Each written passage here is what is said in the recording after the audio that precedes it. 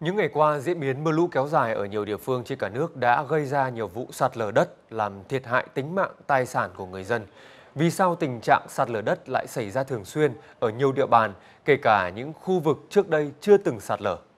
Nguyên nhân chủ yếu có phải là do thời tiết cực đoan hay là do có tác động trực tiếp, gián tiếp ở con người? Chúng tôi đã có cuộc trao đổi ngắn với Phó Giáo sư Tiến sĩ Nguyễn Đức Mạnh, trưởng bộ môn Địa kỹ thuật Trường Đại học Giao thông Vận tải, Phó Chủ tịch Hội Địa chất Công trình và Môi trường Việt Nam, Phó Tổng Thư ký Hội Cơ học đất và Địa kỹ thuật Công trình Việt Nam về vấn đề này. Vâng, xin cảm ơn Phó Giáo sư Tiến sĩ Nguyễn Đức Mạnh đã nhận lời phỏng vấn của kênh VTC1. Thưa ông, thì trong thời gian gần đây thì hiện có rất là nhiều vụ việc sạt lở đất diễn ra ở nhiều địa phương trên cả nước. Và ông đánh giá như thế nào về vụ việc này? Năm nay nó có một cái điểm mà có lẽ nó cũng hơi đặc biệt là cùng thời điểm lại xảy ra ở các miền vùng khác nhau. Ví dụ miền núi phía Bắc, ví dụ là miền Trung, Tây Nguyên hoặc là các cái vùng xưa nay thường cũng ít xảy ra. Ví dụ như ở khu vực là uh, Đắk Nông chẳng hạn. Đấy là một cái sự đặc biệt của năm nay. Thưa ông, ngoài yếu tố là thời tiết bất thường hay là mưa lũ kéo dài thì cái việc tác động con người, trong đó đặc biệt là cái việc mà uh, xây dựng rất là nhiều căn homestay cũng như các khu nghỉ dưỡng ở trên các vùng đồi núi, điều này có phải là nguyên nhân để khiến cho cái việc mà sạt lở đất gia tăng tại hiện nay không ạ? Khi nói đến cái ờ, sụt trượt này thì nó có hai cái nhóm yếu tố cái nhóm yếu tố về tự nhiên nhóm yếu tố về tác động của con người tôi lấy ví dụ như khi người ta đào các cái chân sườn núi, sườn đồi, tức là thay đổi cái địa hình, hoặc là người ta phá những cái thảm thực vật, hoặc là người ta xây dựng các công trình trên sườn đồi, sườn dốc,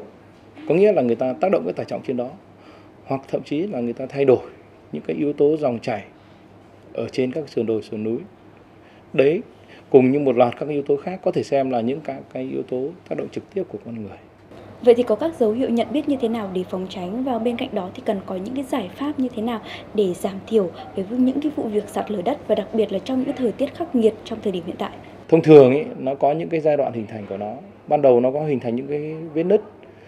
Sau đó nó định hình ý, nó mở rộng cái vết nứt ra thì nó định hình ra một cái khối trượt và sau cái giai đoạn đấy thì khi cái yếu tố kích hoạt chẳng hạn mưa lũ lớn đặc biệt thì bắt đầu nó bị trượt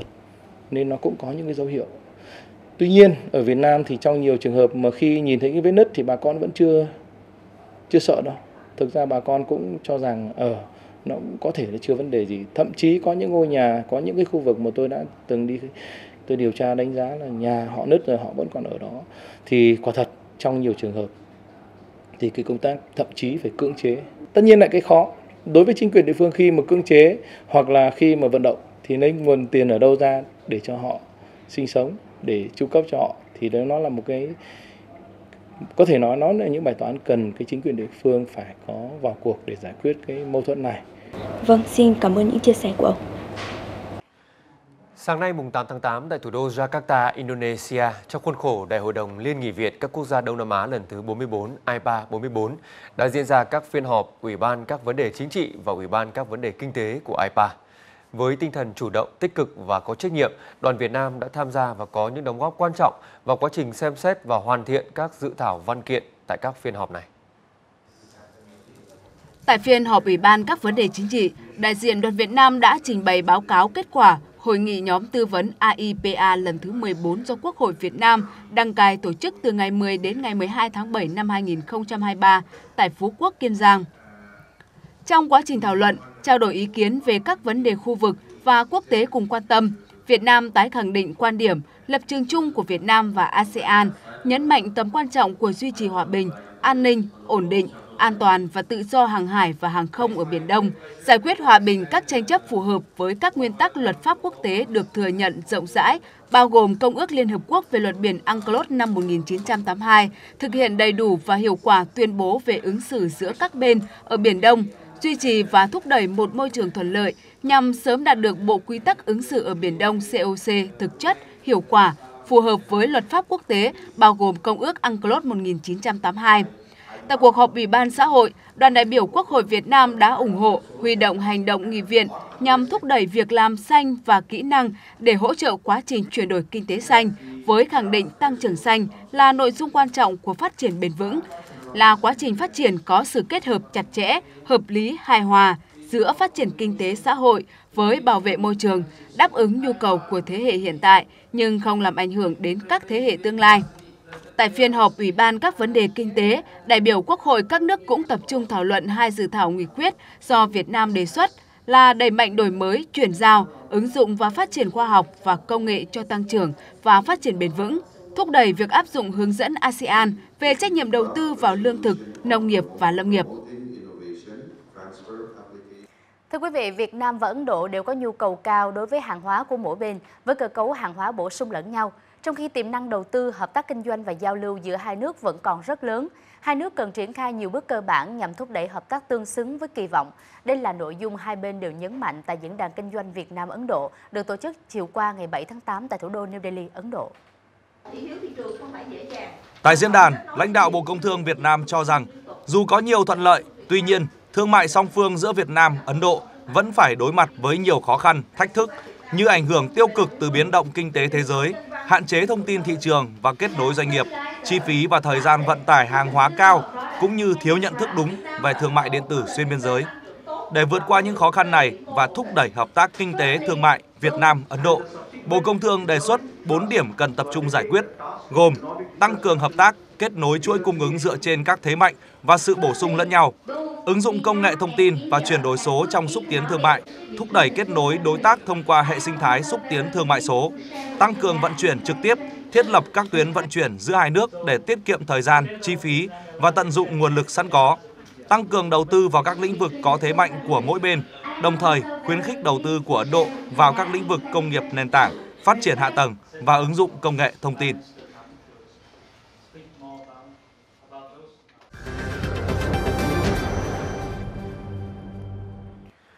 Mưa lớn trên diện rộng vẫn tiếp tục xuất hiện tại tỉnh Yên Bái trong ngày hôm nay khiến cho công tác khắc phục các sự cố sạt lở, di rời người dân ra khỏi vùng nguy hiểm gặp nhiều khó khăn. Đến thời điểm này, dù 3 ngày đã trôi qua, nhưng khung cảnh tang thương, hoang tàn đổ nát vẫn hiện hữu khắp nơi.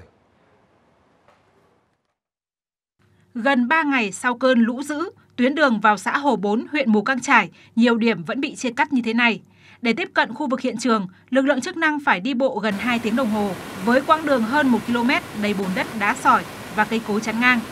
Chị Giàng Thị Khua thời điểm này vẫn chưa hết bàng hoàng, ám ảnh bởi dòng nước lớn đổ về, cuốn trôi toàn bộ nhà cửa, tài sản lúc chập tối ngày 5 tháng 8.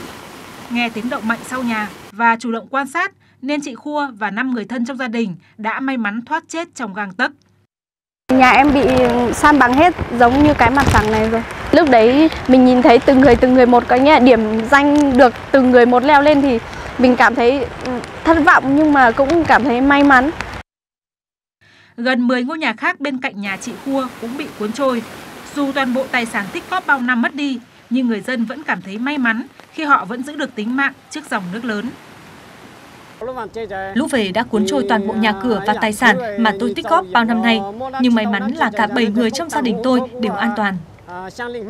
Hiện nay thì đang ờ, xã đã uh, hỗ trợ cho mỗi hộ dân bị mất nhà là mỗi hộ là 30 uh, kg gạo. Hiện nay thì về vấn đề bố trí nhà ở cho tạm thời cho người dân thì hiện nay là đang bố trí tại các cái nhà cộng đồng và các cái hộ liên quan người nhà người thân nhiều người dân cho biết cảm thấy vô cùng lo lắng khi mưa tiếp tục xuất hiện trên địa bàn huyện Mù Căng Chải sau khi bị cây lớn đất đá từ chân đồi đổ sập vào nhà. Đến nay, anh Sùng A Giàng vẫn không thể yên tâm ngủ buổi tối. Tối cũng không dám ngủ. Đấy. Nhất là trong, trong lúc thời thời tiết ờ, đang rất là hết sức phức, phức tạp như này. Để đảm bảo cho người dân nhanh chóng ổn định lại cuộc sống, huyện Mù Căng Trải tiếp tục chỉ đạo các địa phương cử lực lượng tại chỗ tham gia hỗ trợ các hộ dân khắc phục hậu quả trước mắt, đồng thời tăng cường công tác tìm kiếm cứu nạn và theo dõi diễn biến thời tiết để chủ động ứng phó thiên tai. Chính quyền cũng thông tin kịp thời các diễn biến thời tiết, các cảnh báo lũ lụt đến tận các thôn bản để người dân biết chủ động phòng tránh. Tôi đã họp khẩn cấp với ban ủy ban dân huyện và ban chỉ huy phòng chống thiên tai của huyện để mà báo cáo với các các ngành và sẽ đã thành lập à,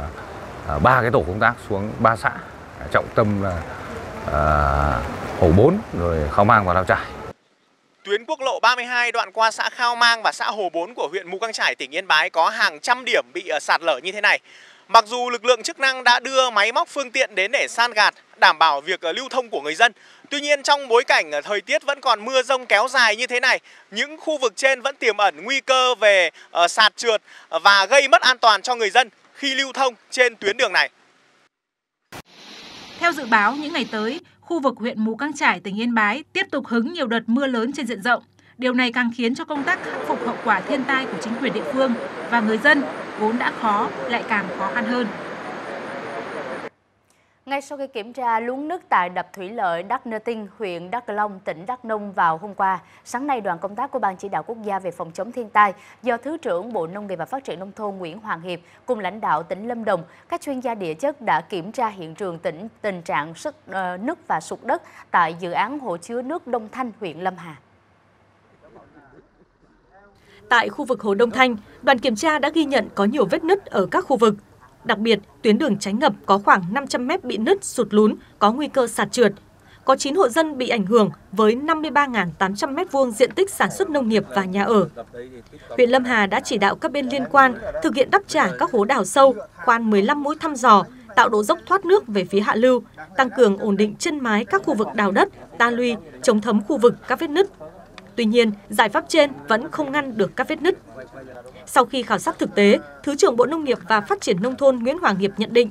nguyên nhân chính sụt lún ở khu vực này không phải do mưa. Lượng mưa tháng qua khu vực này khoảng 200 mm nên không thể nói là quá lớn.